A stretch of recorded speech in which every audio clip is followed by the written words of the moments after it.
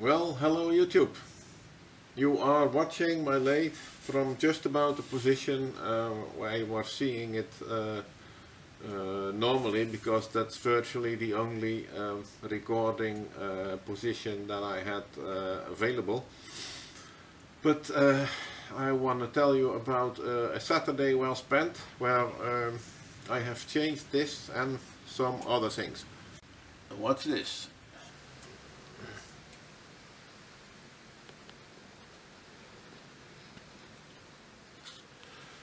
And of course after moving I also have to refocus. But how's that? I'll show you what I've done. So i am turning the camera yet again.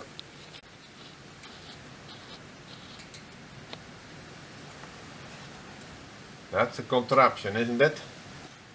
Now what is this? Are the leftovers well, actually uh, not leftovers, but uh, a few parts of my very first lathe. I bought that lathe for uh, 50 euros and only already the three phase motor that was on it uh, was worth that and um, I didn't know anything uh, about woodworking, I just wanted to try it and not spend uh, too much money. So um, I got uh, a lathe, it was obviously uh, homemade by someone and eventually I found that it was made from an old drill stand. So what you see here, uh, this a pillar drill I think is the right word. What you see here is part of the pillar. This is uh, uh, what was the base. Fortunately I had kept uh, those parts and um, yeah then I made an arm out of um, uh, square uh, tubing, 30 millimeter times 3. And um, yeah, that arm can rotate.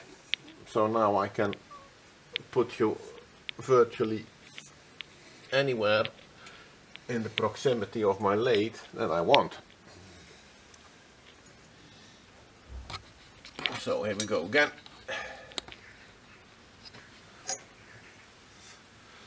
Another view of my workshop.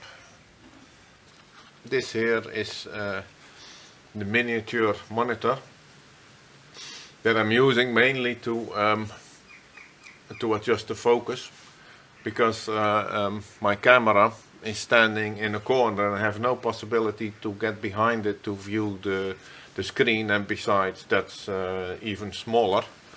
But here with this one it's it's really convenient to uh, arrange the focus and I can look at it uh, while working. So that's uh, that's a good thing